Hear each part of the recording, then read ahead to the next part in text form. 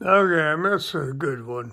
There's a little tiny itty bitty spider over there in the corner. It's been sitting there the whole night.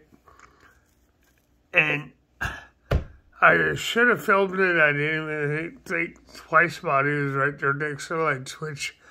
Been sitting there all night. Joy went over and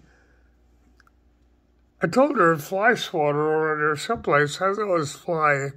Turned out to be an itty bitty, tiny, about like that, not, uh, it was the size of a pinhead. Daddy long legs. well, Joy went over there with a, a paper. paper towel.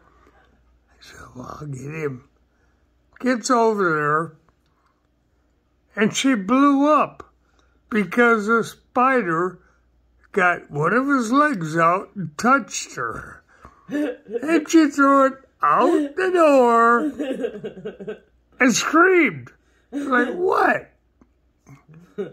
It, it was a day long a little tiny itty bitty guy. He was smaller, a lot smaller than the switch on that wall. But he tried to touch me. Oh, he tried to touch her. Yeah, no. Oh my God. no, no, I thought he was dead at first, so I put the paper towel up there, and I thought, well, I'll let him out of the back door. But then he moved and he put his he reached out his spider leg to touch me, and no, I can't do spiders. No, it was, no. It was hilarious, guys.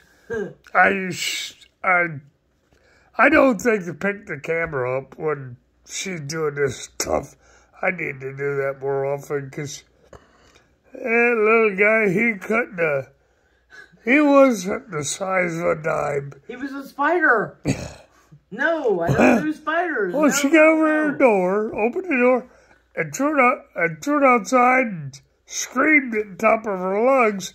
You would have thought a, a damn python got a hold of her or something. It was hilarious. Mm.